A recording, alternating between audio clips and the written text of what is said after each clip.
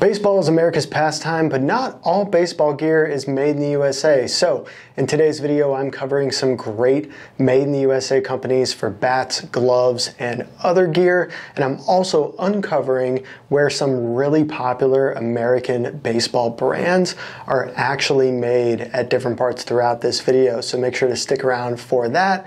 Links to all of our written research in the description below. Let's get started.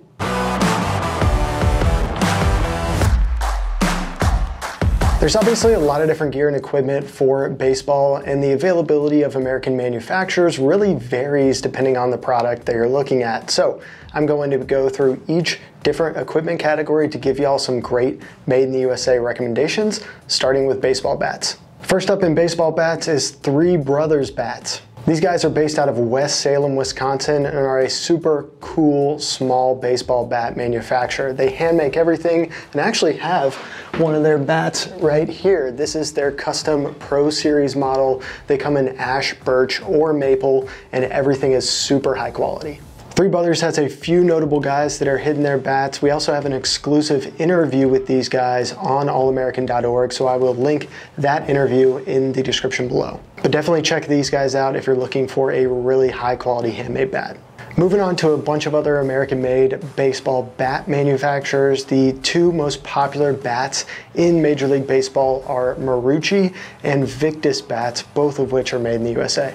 Chandler Bats is another good option out of Port St. Lucie, Florida. They make really high quality wood bats and everything matches the MLB testing standards. Next up is Dirty South Bats out of Winder, Georgia. These guys make metal bats and are super popular with a lot of youth leagues across the country. They're made with a continuous compression barrel, which basically means that the entire bat feels like a sweet spot.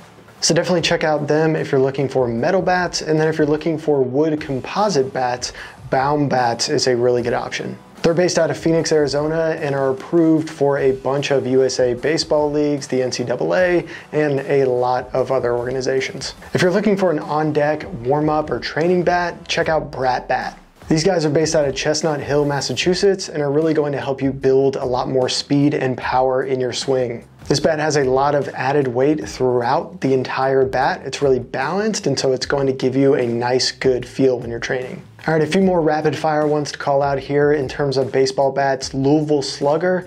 Can't film a video on baseball bats made in America without mentioning these guys. They are the number three bat in the MLB right now. And then a few other good options are Dovetail, Tucci Lumber Bats, and Old Hickory Bat Company.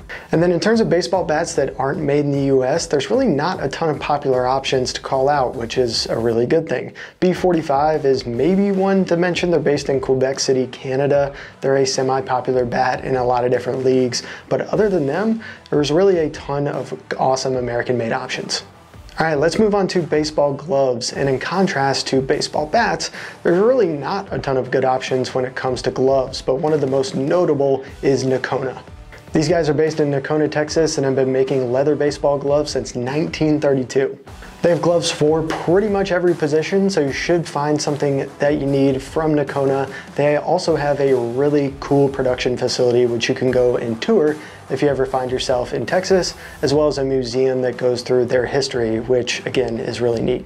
Couple other options for American-made baseball gloves to call out. First is Roy Hobbs. They're based in Fort Myers, Florida. They make gloves from 100% American-made materials, and they are really high quality. You're certainly going to pay for it when it comes to the price tag, but they know what they're doing and you're really going to get a glove that's going to last you for years to come.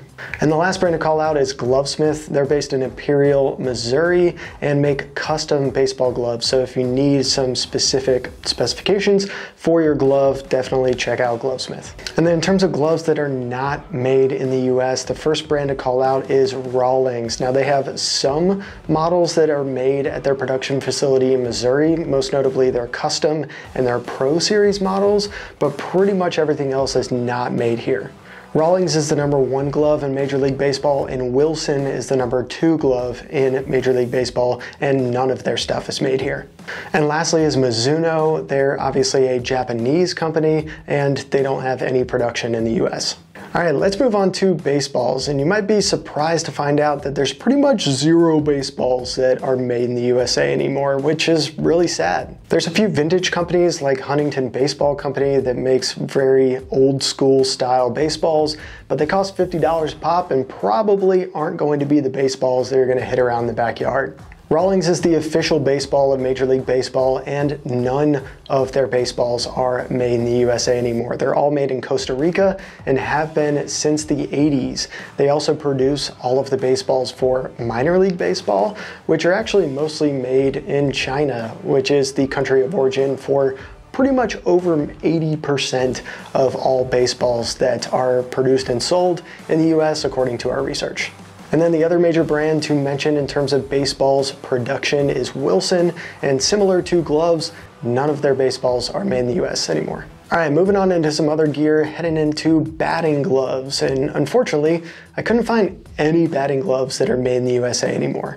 If you know of any, drop a comment in this video, please. It would be super helpful for our entire audience. But in terms of some brands that are not made here for batting gloves, that's going to be folks like Rawlings and Wilson, which I've mentioned, uh, Bruce Bolt, which is another really popular brand of batting gloves that is not made here. And then Marucci, none of their stuff is made here either. And then of course, really popular sporting goods brands like Nike and Under Armour are obviously not making any of their batting gloves here either. For helmets and protective gear, just like bases, check out Schutt Sports. They have some helmets, catcher pads, and other gear that are made in the USA. Not all of it's made here though. Just make sure to check that label when you're shopping and that country of origin should be clearly on each product.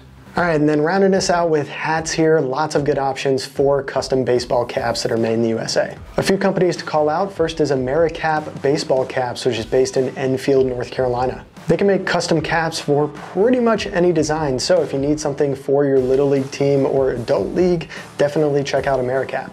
Unionwear is another good option. They have a huge customization selection. Much like the name suggests, they are union made and they employ 175 people at their 70,000 square foot facility out of Newark, New Jersey. And then Classic Caps out of Garland, Texas is another good option here. They've been around since 1928. They have a lot of stock hats that you can buy right off the shelf or you can place a custom order with them. And then the big brand in terms of hats is New Era. A lot of their stuff is not made in the USA. They have a small select line from our research of stuff that is made domestically, but pretty much most of their stuff is not made in the US. All right, y'all, that's it for this one. Drop a comment if you have any questions, and as always, thanks for supporting your country and shopping American made. See y'all next time.